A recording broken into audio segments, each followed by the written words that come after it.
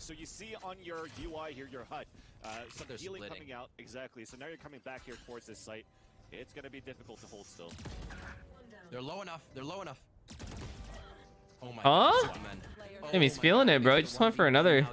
You take the two and you reset of it. Oh my god, it's winnable. Derke makes it a 1v1 situation. Derke wins these. Was that a 5v2 or 4v2? 4v2?